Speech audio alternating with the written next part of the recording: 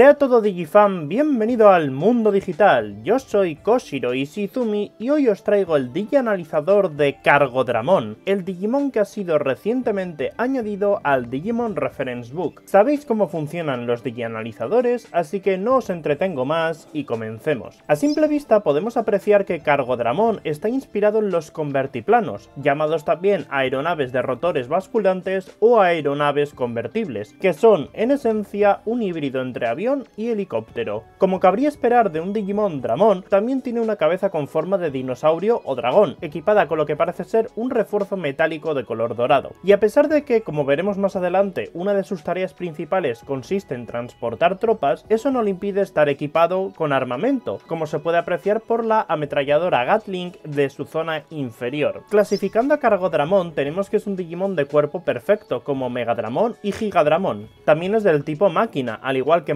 Mugendramon y Tankdramon, de quien hablaremos un poquito más adelante. Cargodramon es de atributo virus, y su debut se ha realizado este año 2023 en Digimon Seekers, pero en los cortos live action, no en la novela, aunque previamente los creadores de Digimon Seekers ya habían hablado de él, en la Digimon Con de este mismo año 2023. Atendiendo a su perfil oficial, sabemos que Cargodramon se encarga del transporte de tropas de la Brigada D, grupo del que ya hablamos en su momento, y sí, la información de este Digianalizador tomadla como un complemento de ese susodicho vídeo. Volviendo al tema, se dice que Cargodramon evolucionó tomando datos del diseño de los convertiplanos del mundo real, como ya os he mencionado con anterioridad. Estos diseños fueron tomados a través de la piratería cibernética. Cargodramon tiene una excelente maniobrabilidad, que le permite volar a gran velocidad ajustando el ángulo de las hélices que poseen ambas alas. El torso de Cargodramon tiene una bodega de carga y, en misiones normales, a menudo alberga un escuadrón de 5 Comandramon y un High Comandramon, otro Digimon que parece ser una nueva incorporación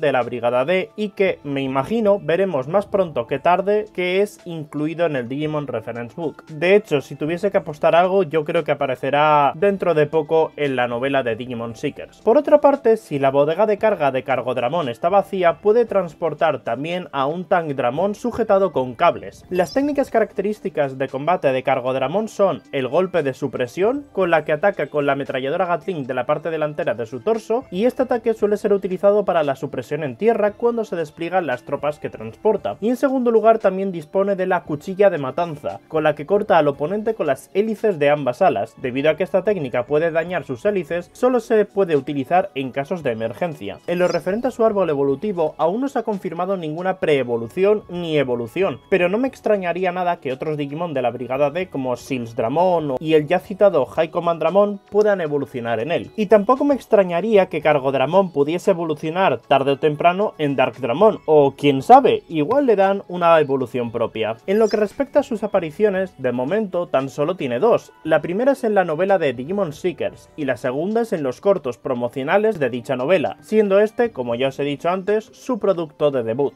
Y dicho esto, no me queda nada más que agregar, así que espero que os haya gustado, reventad ese botón de likes y recordad que podéis apoyarme suscribiéndoos al canal, activando la campanita y haciéndoos miembros. Esta última acción, la de los miembros, me ayudaría muchísimo y me permitiría traer vídeos de una mayor calidad e incluso vídeos con Digimon inventados por mí y encargados a ciertos artistas para hacerlos realidad. No os spoileo más sobre los proyectos que tengo en mente porque no quiero arruinaros la sorpresa, así que dicho esto, espero que seáis felices y nos vemos en el próximo vídeo. Recordad que juntos crearemos unos archivos mucho más completos. Koshiro Izumi, cambio corto.